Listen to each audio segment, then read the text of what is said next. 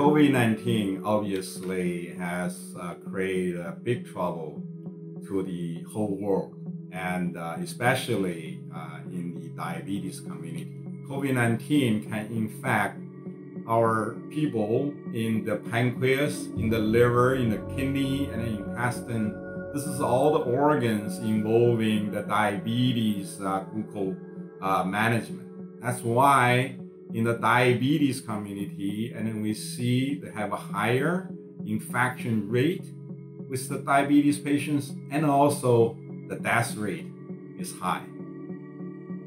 When the medical community in China get aware, uh, Professor Dalong Zhu, who is the president of Chinese Diabetes Society, has launched a series of programs to advise the diabetic patients and how can they stay healthy and then be able to avoid the infection through the internet technology that is widely used in China, the WeChat system.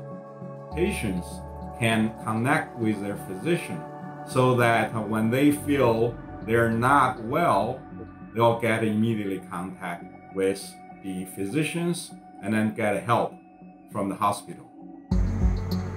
Hua Medicine initiated a global first-in-class diabetes drug study a few years ago, and the drug dorzagliatin has entered the phase 3 trial, and this molecule is be able to fix the glucose sensor in the type 2 diabetes patients and then treat diabetes through rebuild the glucose homeostasis.